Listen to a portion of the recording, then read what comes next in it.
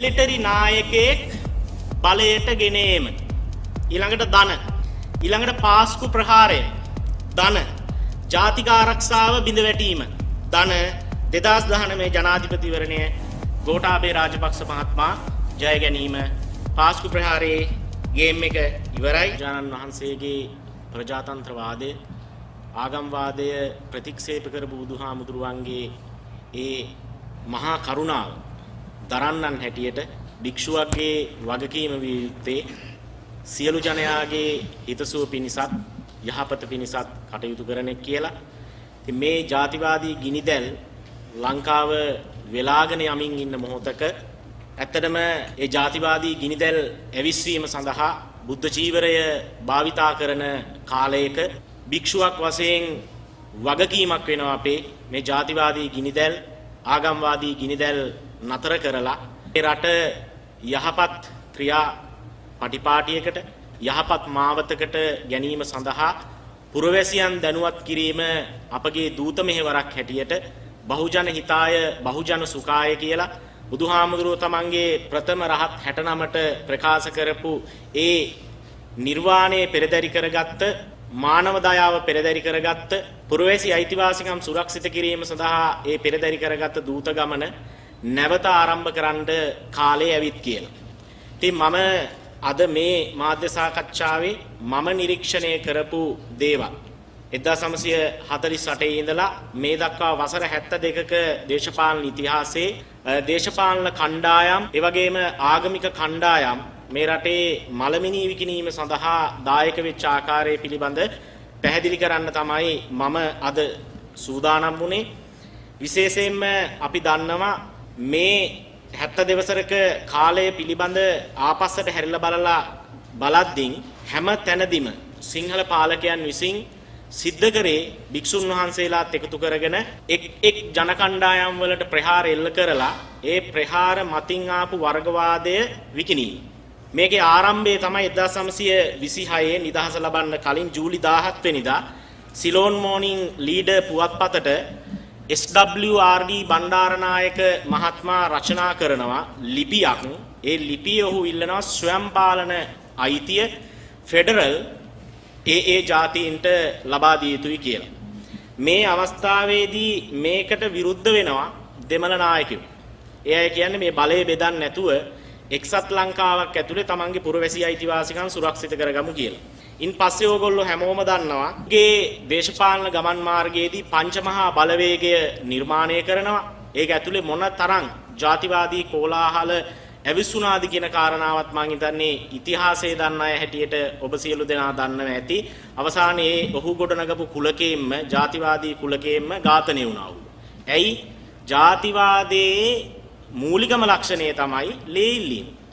ඒකේ ප්‍රතිවිපාකය බණ්ඩාරනායක මහත්මයාට ලැබුණා.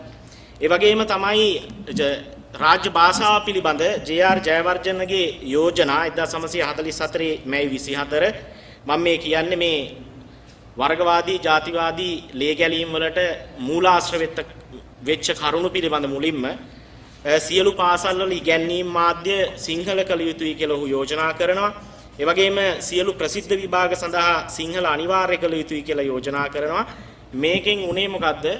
දෙමළ ජනතාව කොන්කරුන් ලැබුවා. හර්තාල් වලින් පටන් ගත්ත ප්‍රජාතන්ත්‍රවාදී ඉල්ලීම් අවසානයේ ඒ අයට පහර දීම් වලට ගිහිල්ලා 83 කළු ජූලිය දක්වා විකාශනය වුණා සංහාර රාශියක් ඇති වුණා ඒ වගේම ඒ කාල සීමාවට පිටින් 71 කැරල් ආවා ඒකෙනුත් විශාල තරුණ පිරිසක් ඝාතනය වුණා ඒ වගේම තමයි 83 කළු ජූලියට අනතුරුව 88 89 තරුණ සංහාරය සිද්ධ වුණා මේ එක් එක් පක්ෂ සිද්ධ කරපු දේවල් ඉන් පස්සේ 83 කළු ජූලියේ ප්‍රතිඵලයක් හැටියට 30 අවුරුදු යුද්ධයකට අපිට මුහුණ දෙන්න සිද්ධ වුණා. දැන් 30 අවුරුදු යුද්ධය ඒ ඒ දේශපාලන පක්ෂ විගුණපු ආකාරය පිළිබඳව ඕගොල්ලෝ දන්නවා. ඒක අය වැඩිය අමුතුවෙන් කියන්න ඕනේ නැහැ. අපි දන්නවා රණසිංහ ප්‍රේමදාස මැතිතුමා 1988 ඔහුගේ ජනාධිපතිවරණය සඳහා තීම් එක කරගත්තේ සාමේ මල් පිපේ වාගේ. එතකොට මේ සාමේ මල් කොහොමද ලංකාවේ පිපුණේ කියන කාරණාව මම හිතන්නේ ඔබ සියලු දෙනාම දන්නවා. ඔහුත් මොකද්ද කරේ? ඔහුගේම නියෝජනය කරපු පක්ෂයේ විසින් ඇවිලූ ජාතිවාදයේ ගින්නෙන් 93 දී රණසිංහ ප්‍රේමදාස මහත්මයා මිය යනවා. ඉන්න අනතුරුව 1995 ජනවාරි 7 8 යන දවස් දෙකේ දෙමළ ඊලාම් විමුක්ති කොටි සංවිධානයේ නායක ප්‍රභාකරන් සමග චන්ද්‍රිකා බණ්ඩාරනායක කුමාරතුංග මැතිණිය ගිවිසුම් අත්සන් කරනවා යුද විරාමය සඳහා. ඒ වගේම ඒ කාල සීමාවෙම අපි දන්නවා ඉන් අනතුරුව ඇයත් බෝම්බ ප්‍රහාරයකට ලක් වුණා. ඒ වගේම තමයි 2015 මහින්ද රාජපක්ෂ මහත්මයා බලයට ආපුවන් පස්සේ අවසන් උතුරු යුද්ධය සිද්ධ කරලා දෙමළීලා මරගලේ සම්පූර්ණයෙන්ම මිලිටරිමය පරාජයකට ලක් කරන්නට යෙදුණා. ඉන් පස්සේ උගත් ප්‍රතිසන්දාන කොමිසමක් නිර්දේශ කරලා ඒ කොමිසම මගින් හොයලා බැලුවා නැවත ජාතිවාදී වර්ගවාදී යුද්ධයක් ඇති නොවන තැනට කොහොමද රටක් හැටියට අපි ගමන් කළ යුත්තේ කියලා.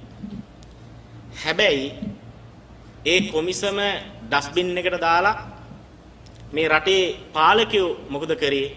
නැවත වර්ගවාදී ආගම්වාදී ගිනිදැල් වලට මේ රට අරන් මම කියන්නේ ඇත්තරම මේ පාස්කු ප්‍රහාරයට යුක්ති ඉල්ලන ගමම්ම රටේ ලංකාවේ ඉස්සරහට මොකද වෙන්නේ? මේ ජාතිවාදයේ පැතුරුනොත් කියලා ඒ සියලු පනත් කෙටුම්පත් එක්ක මං හිතනවා මේ ශ්‍රේහන් මහත්මලාගේ වගකීමක් විය යුතුයි මුළු රට පුරාම සම්මන්ත්‍රණ මාලාවක් සිද්ධ කරන්න 70 දවසක් තිස්සේ මේ දක්වා පාලකයෝ ලංකාවේ පුරවැසියන්න මොකද කරේ කියන්නේ. ලංකාවේ ආගම් වලට මොකද කරේ කියන්නේ. ඒක මම හිතන්නේ ජාතික වගකීමක් වෙනවා. දැන් මේ මාධ්‍ය සාකච්ඡාවට නිමිත්ත වෙච්ච පාස්කු ප්‍රහාරයේ සම්බන්ධව බෞද්ධ භික්ෂුවක් හැටියට මගේ නිර්වචනය මම ඉදිරිපත් කරනවා.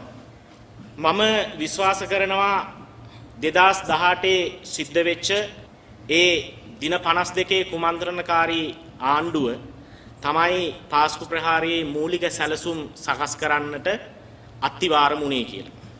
හිටපු ජනාධිපති මෛත්‍රීපාල සිරිසේන ගේ ක්‍රියාකලාපය ඔහුගේ ප්‍රකාශන ඒ වගේම කොළඹ නවනගර ශාලාවේ අඩි 6ක් වලයට යනවයි කියලා අඬපු මෛත්‍රීපාල සිරිසේන මහත්මයා 2018 කාගාව දාපව ගිහිල්ලා නතර වුණා. ඊට පස්සේ දැන් ඔහු කොතනද ඉන්නේ? යහපාලන ආණ්ඩුවක් අරන් එන්න කටයුතු කරපු සියලු මිනිස්සුන්ගේ අභිලාෂයන් පාවලා දීලා අවසානයේ රොයල් පාක් ඝාතනයේ ඒ ඝාතකයව නිදහස් කරලා රාජපක්ෂ මහතුරුන්ට පුටුව බාර දීලා මෛත්‍රීපාල ගෙදර ගියා. ඒක තමයි සිද්ධ වුනේ. ඊළඟට පාස්කුවේ හොඳම කතාව. දැන් ඕගොල්ලෝ දන්නවා ඇති මේ හිරු නාලිකාවේ මාධ්‍යවේදියෙක් හැටියට වැඩ කරන මම හිතන්නේ මෙතෙන්ට ඇවිල්ලා ඇති මේකේ තියෙනවත් එක්ක චමුදිත මහත්මයා. ඔහු ට්‍රූත් විත් චමුදිත කියලා YouTube නාලිකාවක් සිද්ධ කරනවා. ඒකට ගෙන්නවා හිටපු මියගිය ඔසී අබේගුණවර්ධන මහත්මයාගේ පුතාව. එයා තමයි ජාතික ආරක්ෂක අධ්‍යනායතනයේ හිටපු අධ්‍යක්ෂක අසංග අබේගුණ සේකර මහත්මයා.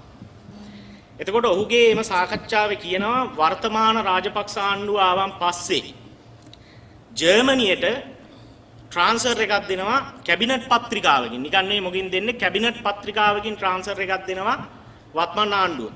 හැබැයි ඒක ක්‍රියාත්මක වෙන්නේ එයාව පුටුවෙන් නිරපනවා ඔහු එතෙන්ට වෙනම රාජපක්ෂ ආණ්ඩුවට හිතකර නිලධාරියෙක්ව පත් කරනවා. අගමැති මහින්ද රාජපක්ෂ මහත්මාගේ මේ පිළිබඳව ඔහු විමසලා තියෙනවා. මේ මගේ කතාව නෙවෙයි ඔහුගේ කතාව කියන්නේ. එතනදී මහින්ද රාජපක්ෂ කියලා තියෙන්නේ මොකද්ද? මම දන්නේ නැහැ. දැන් මම දන්නේ නැහැ කියන එකේ පාස්කු ප්‍රහාරය හැමෝම කියන්නේ. බේරෙන්න ලේසි මඟ තමයි මම දන්නේ නැහැ කියන්නේ. අනිත් ඒවා ඔක්කොම දන්නවා මේ වැදගත්ම දේවල් දන්නේ නැහැ. එතකොට මේ රටේ මම දන්නේ මේ රාජ්‍ය රාජ්‍යයක් ආණ්ඩුවක් මේ රටේ තියෙනවද කියලා. ඉන් පස්සේ දැන් අසංග මහත්මයා එතනදී කියනවා සහරාන්ගේ ඒ ත්‍රස්තවාදී ක්‍රියාකාරකම් පිළිබඳ හදපු වාර්තාව ඔහු ජනාධිපතිවරයාට යවුවා. හැබැයි ඒක ජනාධිපතිවරයාට හම්බ වෙලා නැහැ කියලා. එතකොට මේ පාස්කු ප්‍රහාරයේ සම්බන්ධීකාරක නිලධාරී තනතුරු දැරුවේ කවුද? දන්ත ජයවර්ධන. නිලන්ත ජයවර්ධන තමයි මේ පාස්කු ප්‍රහාරයේ සම්බන්ධීකාරක නිලධාරියා. මේ ඝාතනයන් වලට ඍජුව ඍජුව ප්‍රශ්න කළ යුතු පුජ්‍යලයා තමයි නිලන්ත ජයවර්ධන. දැන් නිලන්ත ජයවර්ධන මොකද්ද කියලා තියෙන්නේ අසංග බේගුණ සේකරට? අහක යන නයි රෙද්ද අස්සේ දාගන්න එපා කියලා. එතකොට අහක යන නයි දෂ්ට කරලා තමයි මේ අම්මගේ දරුවෝ දෙන්නයි මේ අම්මගේ ස්වාමි පුරුෂයයි සදාකාලික මහිම කරා. මෑ ඇතුළු කීයක් අම්මලාගේ දරුවෝ නැති වුණාද? කීයක් බිරින්දෑවරුන්ට තමන්ගේ ස්වාමි පුරුෂයෝ නැති වුණාද? පූර්ණ කාලීන කී දෙනෙක් ආබාධ තත්ත්වයටපත් වුණාද? හැබැයි නිලන්ත ජයවර්ධන බොහෝම සැපසේ අද ඉන්නවා. මම හිතන්නේ ඔහු රජයේ සාක්ෂිකාරයෙක් කරන්න යනවායි කියලා කියනවා. ඉතින් මේ දෙවියන්ට හාල් කැවිච්ච රටක් මේක. ඊළඟට දැන් මේ ලාංකීය බදු මුදල් වලින් පඩි ගන්න අයනේ බුද්ධ්‍යංශ නිලධාරීන් කියන්නේ. දැන් ඒ අයගේ වගකීම රාජපක්ෂ වලව්වේ හැලිවලන් හොදන එකද? ප්‍රධාන මාධ්‍ය නාලිකාවල වගකීම රාජපක්ෂ වලව්වේ හැලිවලන් හොදන එකද? ඒක තමයි බෞද්ධ භික්ෂුවක් හැටියට මට අහන්න තියෙන්නේ. ඊළඟට අසංග අබේගුණවර්ධනට මේ නිලන්ත ජයවර්ධන කියනවා 6:30ට උදේ අද පාස්කු ප්‍රහාරයේ සිද්ධ වෙනවයි කියලා තොරතුරු ආවයි කියලා. දැන් ඒ නිලන්ත ජයවර්ධනට වගකීමක් තිබ්බා. ඒක කාදිනල් හිමිපාණන්ට එක්ක කියන්න. එහෙම කිව්වනම් අද අද මේ වගේ මාධ්‍ය සාකච්ඡාවක් තියන්න ඕන වෙන්නේ නැහැ. අද මේ අම්මලා එහෙනම් තමන්ගේ දවස තමන්ගේ දරුමල්ලොත් එක්ක බොහොම සන්තෝෂයෙන් ගත කරනවා. පාලකයෝ මේ ඝාතනයන් වලට වගකිය යුතු පාලකයෝ සුරසප මිදිද්දී අද මේ අම්මලා කඳුළු සලනවා මේ වෙනුවෙන් යුක්තිය ඉල්ලන මේ ෆාදර්ස්ලා අද මාධ්‍ය සාකච්ඡා තියාගෙන ප්‍රේමය හා සාධාරණත්වයේ ඇගයූ දෙවියන් වහන්සේගේ වන්දනාවට ගියපු මිනිස්සුන්ට එල්ල වෙච්ච බෝම්බ ප්‍රහාරය සම්බන්ධව යුක්තිය ඉල්ලන්න අද කතා කරනවා. මේ රටේ හැමදෑම උනේ ඝාතනයන් සිද්ධ වුණ ඓතිහාසිකව ඒ එක ඝාතනයකටවත් මේ ලංකාවේ අධිකරණයේ කිසිම යුක්තියක් හිට වෙලා නැහැ මේ දක්වා. එතකොට මොකද්ද මේ රටේ අධිකරණය? එතකොට මේ රටේ පුරවැසියෝ බල්ලෝ බලල්ලු. මේ රටේ පුරවැසියන්ට ලැබිලා තියෙන මානව අයිතිවාසිකම් මොනවා? බෞද්ධ දේශයක් හැටියට බුදුහාමුදුරුවන්ගේ මෛත්‍රී කරුණා මේ රටේ තියෙනවා. මෙන්න මේවා තමයි බෞද්ධ භික්ෂුවක් හැටියට මට තියෙන ප්‍රශ්න.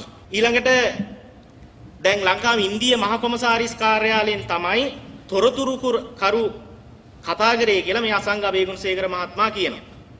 එතකොට මේ ඔක්කොම දැන් කරුණු තියෙද්දී ඇයි මේ පරීක්ෂණ යට ගහන්නේ? පරීක්ෂණ යට ගහනවා විතරක් නෙවෙයි සත්‍ය සත්‍ය කතා කරන චමුදිත මහත්මයා ආගේ YouTube channel එකෙන් සත්‍ය කතා කරන චමුදිත මහත්මයා ආගේ YouTube channel එකෙන් ඒ සාකච්ඡාවත් අයින් කරනවා. එතකොට මේ මලමිනි ප්‍රසිද්ධ නාලිකා දෙකක් නිර්ලජ්ජිතව විකුණන්නට යෙදුණා. ඒ නාලිකා දෙක ඒකේ ආර්ථික හා සමාජීය ලාභය ගත්තා. එක් නාලිකාවක හිමිකරුවෙක් තමන්ගේ සහෝදරයව මරණ දණ්ඩනයට හිමි වෙච්ච නිදහස් කරගත්තා. අනිත් නාලිකාවේ හිමිකරු කොරෝනා වලින් ගන්න ඕන සියලු ආර්ථික ලාභ අරගත්තා. ඒ වගේම තමයි ගමේ ග්‍රාම සේවකකමටවත් නුසුදුසු පාලකෙන් කැකිල්ලේ රජ කෙනෙක් ජනාධිපති පුටුවට පත් කරා ඔන්න ගේම් ඕවර් පාස්කුවේ.